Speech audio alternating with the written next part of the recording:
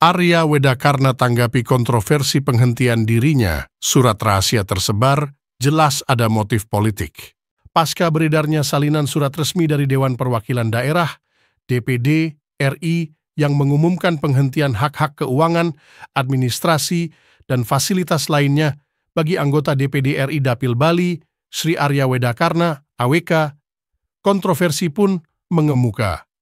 AWK dalam responsnya menyatakan kekecewaannya atas penyebaran surat internal tersebut, menyebutnya sebagai tindakan yang syarat muatan politis.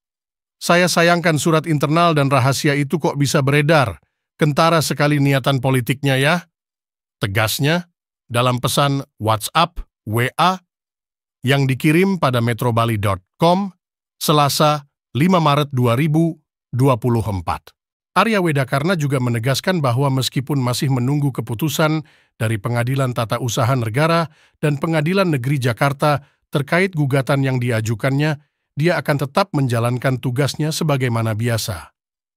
Secara umum, saya menganggap hal ini sebagai bagian dari proses administratif yang belum tentu menjadi kenyataan.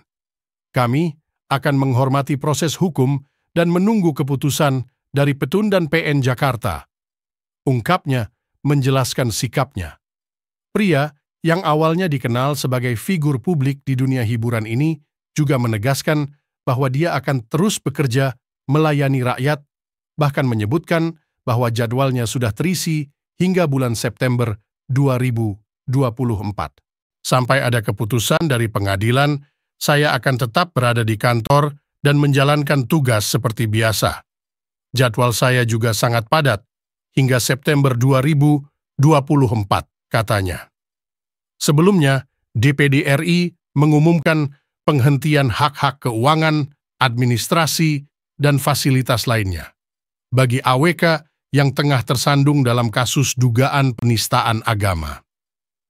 Dalam surat resmi yang beredar, terlihat bahwa AWK telah diberhentikan sebagai anggota DPD RI berdasarkan keputusan Presiden Republik Indonesia nomor 35P tahun 2024 tertanggal 22 Februari. Dengan penghentian tersebut, AWK kehilangan hak-haknya sebagai anggota DPD RI, termasuk akses ke ruang kerja dan fasilitas lainnya atas nama DPD RI Provinsi Bali. Hal ini menandai akhir dari peran politiknya di tingkat provinsi. Sebagai respons atas pemberhentian tersebut, AWK telah mengambil langkah hukum dengan mengajukan gugatan ke Peteon pada tanggal 20 Februari 2024. Sidang perdana telah digelar pada 28 Februari 2024 dan dijadwalkan untuk kembali digelar pada 6 Maret 2024.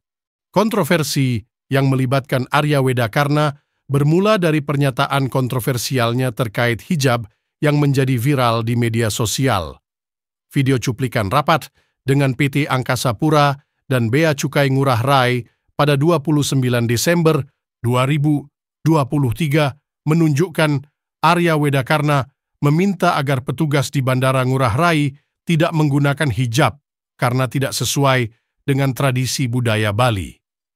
Arya Wedakarna telah meminta maaf atas kontroversi tersebut dan menegaskan bahwa video tersebut telah disunting oleh pihak tak bertanggung jawab. Dia juga menegaskan bahwa tidak ada niatan rasis atau menyinggung agama tertentu dalam pernyataannya. Kasus ini telah menjadi sorotan publik dan Arya Wedakarna berjuang untuk mempertahankan hak-haknya sebagai anggota DPD RI Provinsi Bali melalui jalur hukum. Hingga kini, proses hukum terkait kasus ini masih berlanjut, sementara publik menantikan perkembangan selanjutnya. Demikian laporan wartawan Metro Bali, Tri Prasetyo.